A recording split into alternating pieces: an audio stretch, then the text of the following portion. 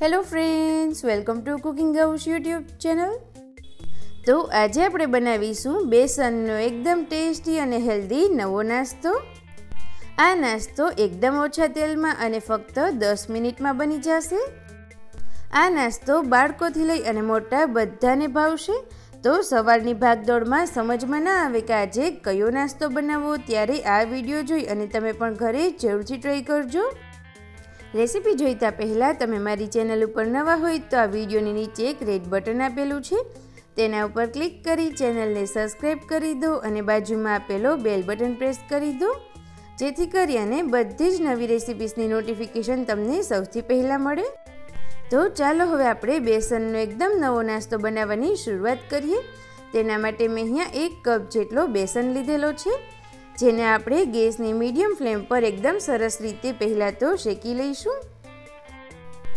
આ રીતે બેસન ફક્ત બે મિનિટમાં શેકાઈ અને તૈયાર થઈ જાય છે. બેસન સરસ રીતે શેકાઈ જાય ત્યારબાદ આ રીતે તેને એક મિક્સિંગ બાઉલમાં લઈ લઈશું.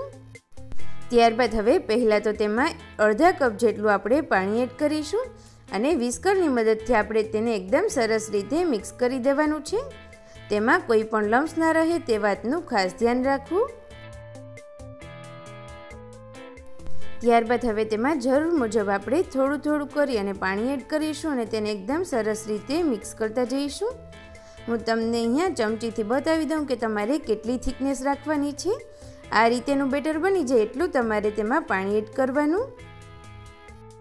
ત્યારબાદ હવે આ રીતે તમે એક લાલ સૂકું મરચું એડ કરીશું, જેનાથી આ નાસ્તાનો ટેસ્ટ ખૂબ જ સરસ લાગે છે. જો તમારે ચીલી ફ્લેક્સનો ઉપયોગ કરવો હોય તો તે પણ લઈ શકો છો.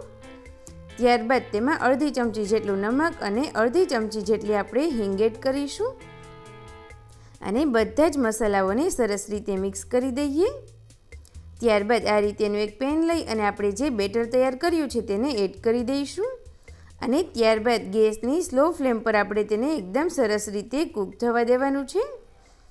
એક વાતનું ખાસ ધ્યાન રાખવું કે ગેસની ફ્લેમ આપણે સ્લો જ રાખવાની છે અને આ રીતે તેને સ્પેચ્યુલાની મદદથી સતત હલાવતા રહેવાનું છે? એકાદ મિનિટના સમય પછી તમે જોઈ શકો છો આપણું બેટર આ રીતે થીક થવા લાગશે. તો અહીંયા તમે જોઈ શકો છો આપણું બધું જ બેટર એકદમ સરસ રીતે તૈયાર થઈ ગયું છે. તો મેં અહીંયા આ રીતેનું એક ટીન લીધેલું છે. અને તેને આપણે તેલથી પહેલાં તો ગ્રીસ કરી લઈશું. તમારા ઘરે આ રીતેનું ટીન ના હોય તો તમે ઘરમાં રહેલી કોઈ પણ પ્લેટનો ઉપયોગ કરી શકો છો.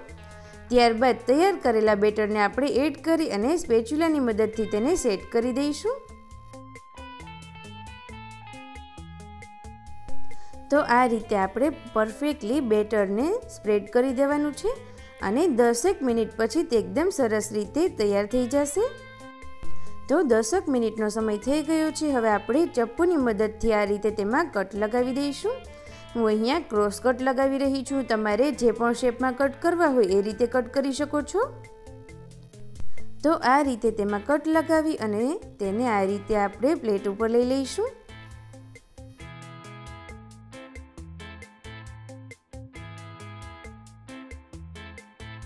તો તમે જોઈ શકો છો, મેં બધા જ આ રીતે અહીંયા પ્લેટ ઉપર લઈ લીધા છે.